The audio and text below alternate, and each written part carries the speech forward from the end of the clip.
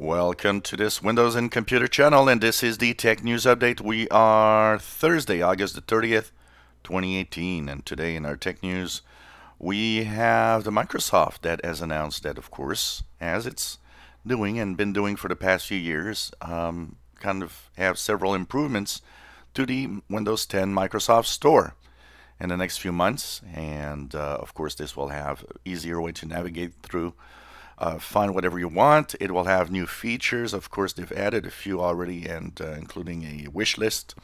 And it'll be easier to go through hardware, software, and uh, pretty much everything Microsoft that you can buy.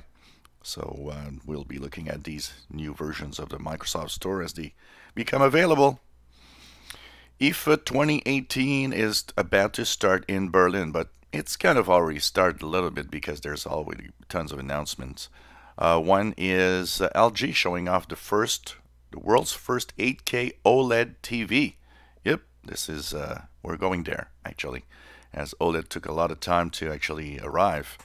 Uh, there's not a lot known because they've been pretty quiet on the hardware and performance level of the TV, but anyways, it's just to show us that, you know, we're moving on. Samsung also um, showed its 8K QLED TV.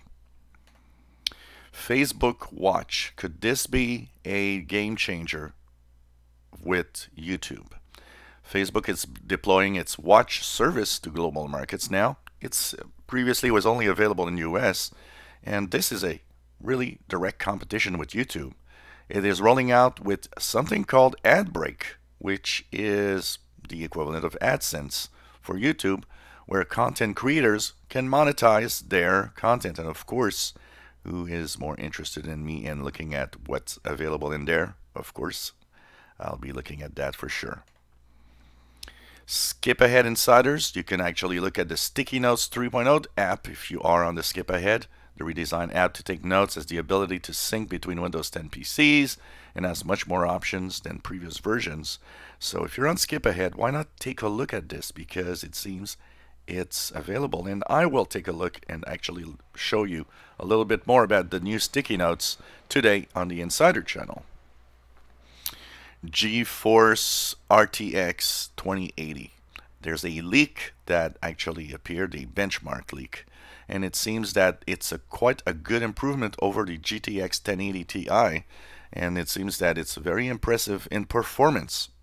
Of course, it comes with a price tag, but Typically, pretty much the world's most powerful graphics GPU is here.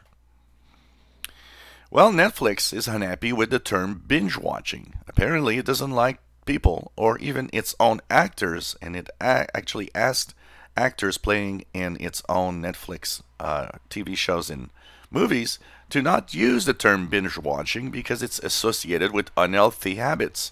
So it is asking to just, you know, don't talk about binge watching. It's doesn't doesn't sound good. Yahoo is, uh, of course, we know it was breached, and we knew that a, billion accounts were actually um, in the wild, and that basically meant that a lot of people were uh, in there. Well, it turns out that we learned this week that pretty much every account was breached, actually, and that's three billion accounts, not one. So, yeah, if you still haven't done so, I think you really need to change your password. Talking about Yahoo, even though privacy advocates are complaining, even though Yahoo said, well, you know, we'll try to do something about it, nothing has changed. Yahoo still reads your emails and actually sells all of that information to advertisers so that it actually can, uh, you know, display ads properly. Of course, the analysts involved say Yahoo should stop doing this. It's not a good thing to do.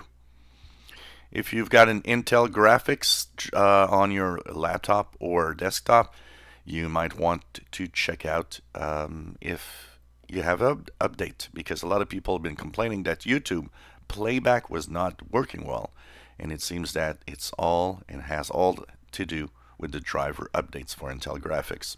So check out your updates.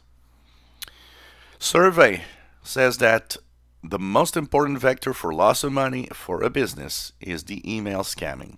Yes, it's still going on strong and it's the number one way where scammers actually try to pretend that they're a big business that will need to, uh, you know, conduct some kind of business for you, needs money transfers, and uh, according to that survey, the scammers got away with billions of dollars in the past five years. And finally, Google has released the Titan security key for everyone. This device is a two-factor authenticator device that is hardware and makes sure that you stay safe.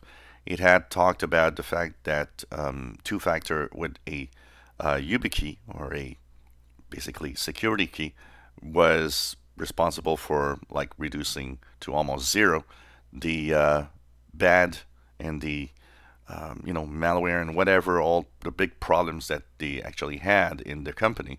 So now, of course, they're selling this uh, kit for fifty dollars. And this was the Tech News Update. We are Thursday, August the 30th, 2018. You enjoy our videos, please subscribe, give us thumbs up. Thank you for watching.